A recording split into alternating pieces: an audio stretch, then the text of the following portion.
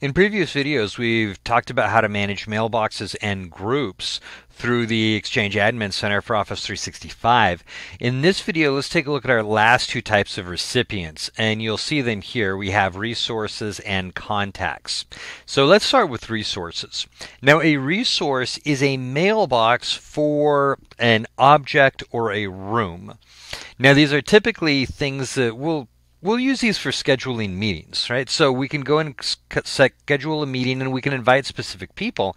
And then if we need a specific resource or a room to hold this meeting in, then we can request that through the uh, through the Outlook tool as well. And that's managed using these resource mailboxes. So here's how this works. I'm going to add a resource. And notice here I can choose room or equipment. I'm going to go ahead and leave this as room, and we'll add one of each just to see how this works. So our name is going to be conference 1. So that'll be conference room 1. I can set an email address, conference1 at bassett321.onmicrosoft.com. So the reason this has a mailbox is when I go to request this, it'll send an email to this address and then something will happen. We'll talk about what that is here in a minute. Something will happen when we go to request that, which will allow us to schedule that room or not. We can set the capacity. So I'm going to set the capacity for 20. So if I had more than 20 people in there, then in my invitation list, then Outlook is going to tell me, hey, you can't use this particular room. It's not big enough. Now, the rest of this information is going to be more for management. It's not necessarily going to be used by the Office 365 Exchange, but I can set the location Yakima. I can set the phone number. Let me go next. I can set the department, the company, the address book, the street, city, uh, state. And the idea here is so that I can search based on any of these options so I don't end up scheduling a meeting in Yakima and requesting conference room one, which happens to be in, you know, Atlanta, Georgia. That doesn't work out really well. So by putting these uh, fields in, it makes it easier for my users to say, show me all of my conference rooms that are in Yakima. So that's the idea behind that. So we'll click next. Now, this booking options determine what happens when we request this room. And here are options. I can allow or disallow repeating meetings. So if I don't allow repeating meetings and somebody tries to schedule this, you know, for every Monday for the next 6 months, it'll block that out. If I want to allow that option, then I just click allow uh, repeating meetings. This option here allows scheduling only during work hours or not. Same thing if I don't allow if I uncheck that and somebody tries to request this room after working hours, it'll be automatically rejected. But then I can automatically accept meeting requests. So if I set that and that, then anytime somebody requests something during working hours, this will automatically be accepted. Now notice when I do the auto accept, my booking delegates kind of grays out here. So let me uncheck that and now my booking delegates becomes active. So here's what happens. If I request this resource or this room in this case, and I have auto accept meeting request set, then it will automatically accept that meeting request and that room will then show up in the calendars being busy for that time frame.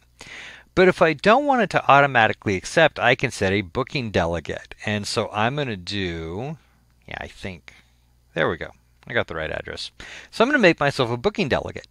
Now, what happens when somebody requests this room? It will send an email to me and say, hey, George Smith requested this room at this time. Should we book it or not?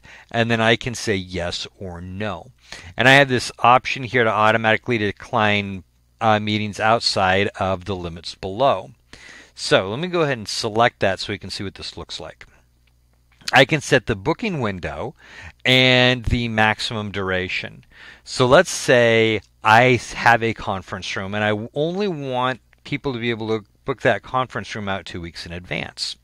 And I'm going to set that for 14 days. So it'll automatically decline anything more than 14 days in advance. Now, obviously, that's kind of a short time frame, but you get the idea.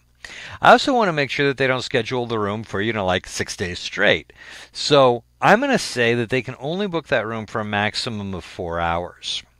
So that's my maximum duration. So automatically decline meetings outside of these limits, and in this case, it's going to use myself as a booking delegation or booking delegate. If I decide that's too much effort, I can uncheck that and say I've already got my options here, so I'm just going to uh, auto accept meeting requests as long as they meet these other requirements. And then I can put in a reply here.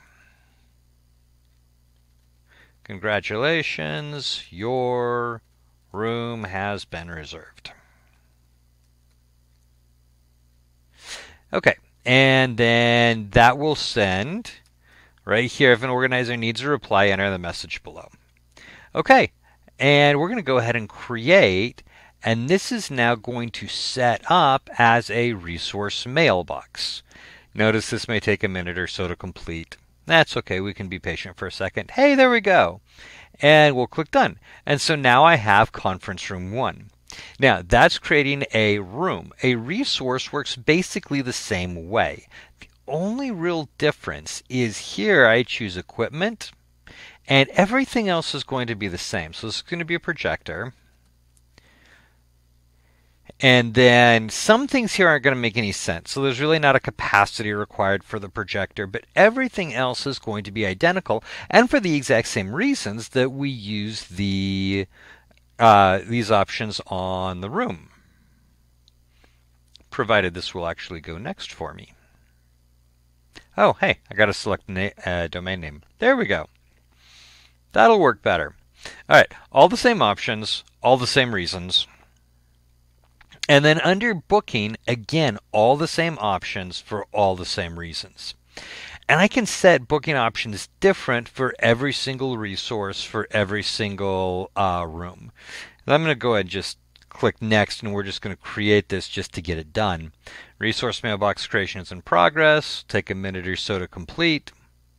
And we're done. So now when somebody goes to create a a meeting. They can invite users and they can also invite Conference One and the projector. Whatever rules we have in place for booking will take effect.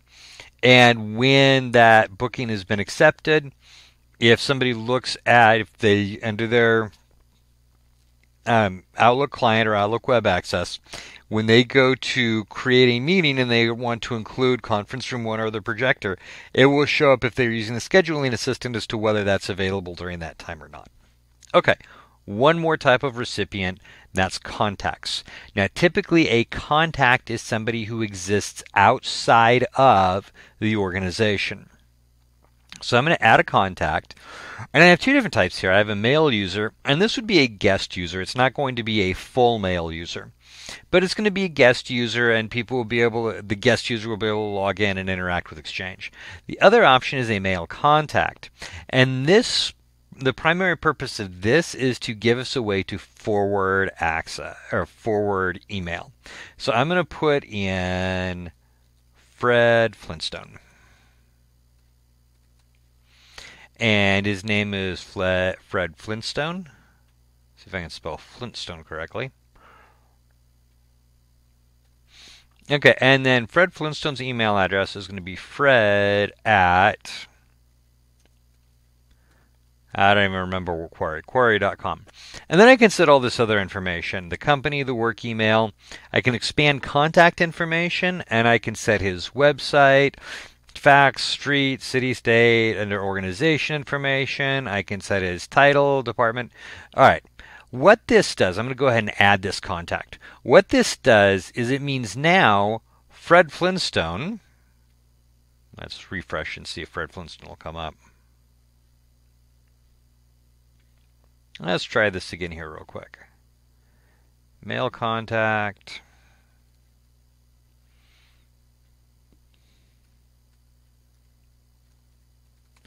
Fred Flintstone, Fred at query.com.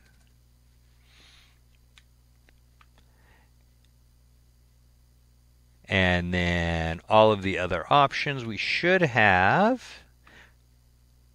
Got it set for mail contact, Fred Flintstone, display name, email address. Look at contact information. Look at organization information And why is it not letting me add?